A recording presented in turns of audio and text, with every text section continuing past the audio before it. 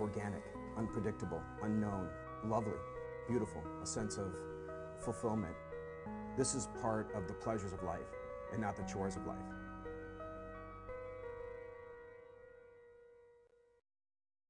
Tonight on Daily Iowan TV, Iowa City area Crime Stoppers take an unusual step as they search for answers after a weekend shooting. And harmless or dangerous, University of Iowa dentists say there's more to teeth whitening than meets the eye. And the latest from one of the wildest sports weekends to date, coming up in just a bit. Daily Iowan TV is ready to go.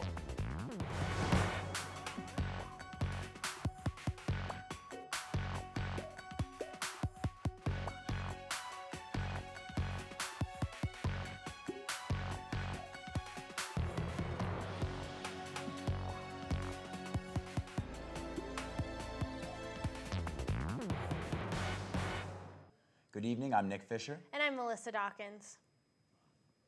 Iowa City area Crime Stoppers are now offering a $1,000 reward to anyone with information on a shooting that left at least one woman hospitalized over the weekend. Shots rang out here at the Pheasant Ridge apartment complex near the 2600 block of Bartlett Road in Iowa City. Police say UHC doctors are treating the woman for gunshot wounds. They are not yet releasing her condition, and police say authorizing a cash reward of this type in this kind of case is actually pretty unusual. Anyone with information is asked to call Crime Stoppers. Their number is at the bottom of your screen.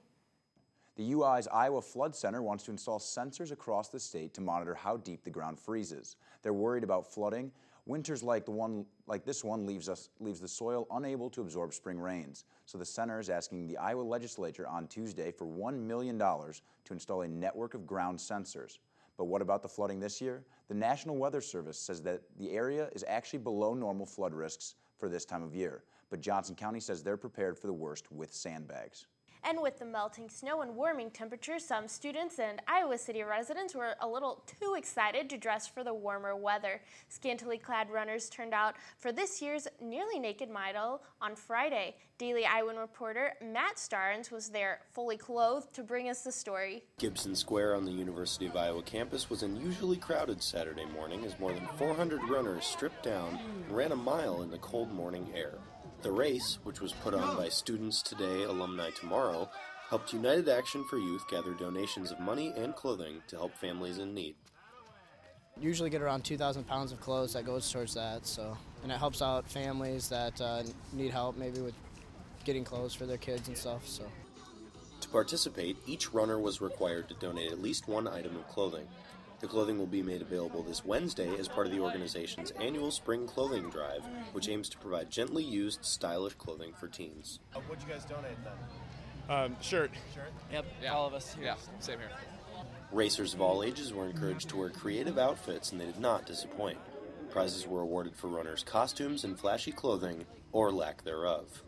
Uh, so it's kind of a last minute brainstorm last night. We were throwing some things together, um, and we were looking up in our room and saw all of our flags hanging up.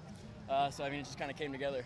Some were more optimistic than others about the temperatures, which were barely above freezing. All right, why the speedos? Why not the speedos? Oh, we That's thought, the real question. We thought everyone was going to do it. Matt Starnes, Daily Iowan TV. This was the charity run's sixth year. Two wheels, two hands, a little guidance in one semester. That's what students here at the UI are working with as they race against the clock to finish their semester projects. A fully functioning bicycle built from scratch. Students showed off their creations at an auction Friday for the Johnson County Youth Odd Friders program. The program provides kids with everything they need to hit the open road on a bike. This year's the first year for the auction and the program's third year. Right now, the program supports more than a dozen riders. A group of UI students dressed up Saturday night to celebrate diversity at Multicultural Forum. Organizers say the event helps bring together members from UI multicultural organizations to network and collaborate. Tim's studio submitted some photos of the event. It wasn't all work though. More than 250 students dove into some tasty cultural cuisine and showed their best moves on the dance floor. This is the third year for the event. The University of Iowa's first African American fraternity is celebrating 100 years on campus. The Kappa Alpha Psi fraternity held a small recognition ceremony on Friday afternoon in the Hubbard Commons to commemorate the occasion. Current fraternity president Kyle Davis spoke along with others, including the fraternity vice president and the UI vice president for student life, Tom Rocklin. We're all very close because we all go through the same process that really our founding fathers who came to this campus and started this chapter in 1914, which is amazing, went through and have passed along through the years, and we've kept that consistent. We just really want to be recognized as a fraternity and not just as another, just another group. Past and current members gathered to honor where the fraternity was 100 years ago and where they hope to go in the 100 years to come. But first, Hannah Thompson is here with a look at your warmer weather. Yes, Melissa, temperatures are finally looking up here in Iowa City, but with this comes the mass melting of everything frozen in our area. Water is everywhere right now, and it's making for some serious concern about residential and river flooding. Students have flooded basements, and transportation is becoming an issue as streets and sidewalks fill with water. And this week won't be much help to the problem as we won't be seeing hardly any of the sun to help dry things out. Tomorrow we can expect much warmer temperatures starting the day off at 37 degrees. The afternoon will reach a high of 55 with heavy cloud cover and the evening will fall down to 45 with dense fog. Now looking on to the rest of the week, we will finally be seeing more spring-like temperatures but hardly any sunlight. Tuesday we'll see a high of 44, but Wednesday will drop back down to the low 30s, making it the coldest day of the week. Thursday and Friday's temperatures will rise back up again, reaching the mid 50s, leading us into an equally warm weekend. Well, that's all the weather I have for you guys today. Be sure to get out and enjoy those warm temperatures now that we finally have them. Melissa and Nick, back to you. Thanks, Hannah. Students trying at home teeth whitening remedies may not have so much to smile about.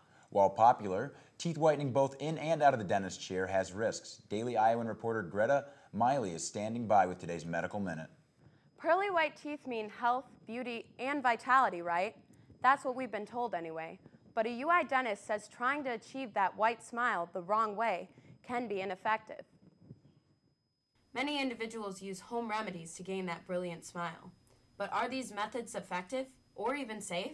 Since it's really everything is through the internet. You also see many do-it-yourself whitening procedures using strawberries, lemons, and apples, and hydrogen peroxide liquid. Kwan said using strawberries and lemons have been proven to be ineffective.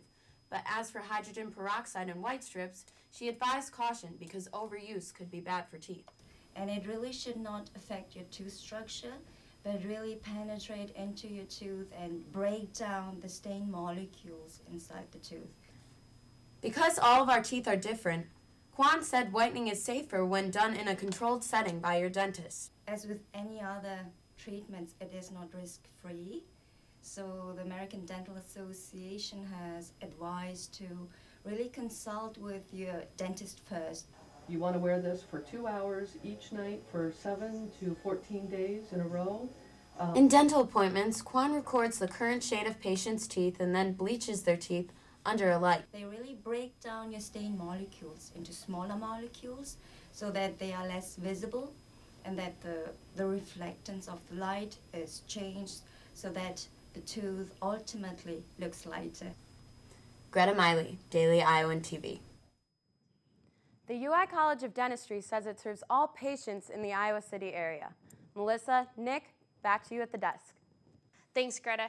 Kat Hurt didn't win Juan Pablo's heart, but returning home to Iowa City has to be a pretty good consolation prize. The Bachelor contestant spoke at the Iowa Memorial Union today. A lifelong Hawkeye and UI grad, Kat talked to, to fans about the importance of community engagement. Our sports reporters are out across the nation today covering Hawkeye basketball and wrestling. Ben Ross and Josh Bolander are, on, are standing by in the studio with everything black and gold. Guys? That's right, Nick. What a weekend in Hawkeye sports. Heartbreak and ecstasy from the Big Ten Championships and, believe it or not, the action in Madison and Indianapolis. Not even the most breathtaking moment of the weekend for fans of the black and gold. Just ask Fran McCaffery alongside Mr. Ben Ross. I'm Josh Bolander. More on Saturday evening's buzzer beater and Carver in just a minute. We start the program at Bankers Life Fieldhouse in Indianapolis, where Lisa Bluder and company's Cinderella run fell just short in the Big Ten tournament. That's right, Ben. The Hawks bid for their first Big Ten title since 2001. Not in the cards this afternoon. Final score in this one Nebraska 72, Iowa 65. Daily Iowan TV sports anchor Taylor Axelson and Rachel Bedell on location for this one and in the locker room postgame. Thanks, guys. We're here at Bankers Life Fieldhouse in Indianapolis, where we just saw a really tough fought game between Iowa and Nebraska, where Nebraska ended up taking the championship 72 to 65. You know, not a whole lot happened for Iowa in the first half, but a lot happened for them in the second half. It was a really, really hard fought game. You could tell they were fighting for it, but not a lot of the fouls went their way. Mm-mm. I mean, it's always frustrating. You know, you want to be out there on the, on the court as much as you can, give it your all every second that you're out there, and when that happens, it's. I mean, there's nothing you can do about it. It's just, it sucks. And uh, Theairra Taylor didn't have as much time on the court during her last Big Ten tournament as she wanted, but you could tell not only is she a leader on the court, her teammates were also looking to her for to cheer them on when she was on the sidelines. I think the team just wanted this for her so badly, and um, you know those are the things that hurt probably more than anything is that you just can't send your senior out with uh, what they deserve, uh, and, and she deserves it. One thing I definitely think we saw today was a lot of passion from the crowd, both sides teams, and something we don't really see that often is Bluder getting a little fired up with the technical. Yeah, and from where we were sitting, uh, number 33, Rachel Theriot, kind of blindsided Dixon Mhm. out of bounds. Possession went the other way, and Bluder seemed upset but calm when she was talking to the referee. And then the referee walked away. Coach Bluder stamped her foot and got the technical. But you can really tell she's got a lot. She's going to fight for her team. There is nobody in this country that we can't compete with right now. But the girls are really looking forward to the NCAA tournament where they tip off in Carver, home court, in two weeks. And so let's hear what the girls have to say about that. I think we'll probably have a couple days off just to get our legs back. Four games in four days is a lot. Just get a little rest now, and then we're gonna definitely go work on boxing out and getting rebound. We're not going to dwell on this one. Uh, we're going to move forward, and we have we have big things to come. You're not gonna hear excuse from us though. We're, we'll probably just rest up and get back at it as soon as we can. Well, that's all we got for you guys at Bankers Life Fieldhouse in Indianapolis. We'll see you guys back in Iowa City. Yeah, hopefully it's a little happier where you guys are. Josh, Ben, back to you guys. Disappointment for Bluder, quite the opposite for Iowa Wrestling head coach Tom Brands heading into Sunday afternoon's final round of the Big Ten Championships in Madison, with five Hawkeye grapplers up for Big Ten hardware. Unfortunately for the black and gold, only one Hawk bringing home the bacon. Tony Ramos, the lone bright spot on championship, championship Sunday, the 133 pounder, atop the podium for the very first time in his illustrious career in Iowa City. When that hit zero, I, you know, I just heard, I heard the guy on the outside count down 10, 9, and I knew I had to keep wrestling, keep wrestling, stay in the center. I couldn't go back or they were gonna hit me right away as soon as they could. So, huge weight was lifted. Uh, finally got my name on that side of the wall that you look at every day. That's exciting. And now I just need to add an asterisk up on the other side and, and did everything you could possibly do here. And finally, well, Iowa basketball. Fran McCaffery's squad continuing their struggles in Big Ten play, dropping their fifth Big Ten game in their last six tries, 66 to 63 to Illinois. Grad school transfer John Ekey's three pointer at the buzzer, enough to stun the 24th ranked Hawkeyes on senior night in Carver Hawkeye Arena. Fran McCaffery and star guard Devyn Marble, just like Iowa fans, eager to move on to the postseason. I think we've done a lot of things so far this season. Very pleased with a lot of things that we've done. Uh, but it's a long journey. Uh, I think the Big Ten tournament is exactly what you need. You know, um, something refreshing. Uh, it's a, basically a new start, it's the start of a new season. Uh, you got the uh, the postseason play, so you guys got to some you got to find a way to pick it up. You know. Well, Ben, that's it for us tonight. Much more from all of this weekend's action coming up on Monday's edition of the program. But for now, it's back to you at the desk. Thanks, guys. Only with Daily Iowan TV can you check out what's going on in tomorrow's pages of the Daily Iowan. Student startups. The Pappajohn Business School sets up a student acceleration program to train young entrepreneurs. All their eggs in one basket? Midwestern states, including Iowa, are suing California for recent regulations the state put on egg production. Connect to Daily Iowan TV anytime by checking us out on Facebook and following us on Twitter. Daily Iowan TV will be right back here tomorrow night, same time. Good night.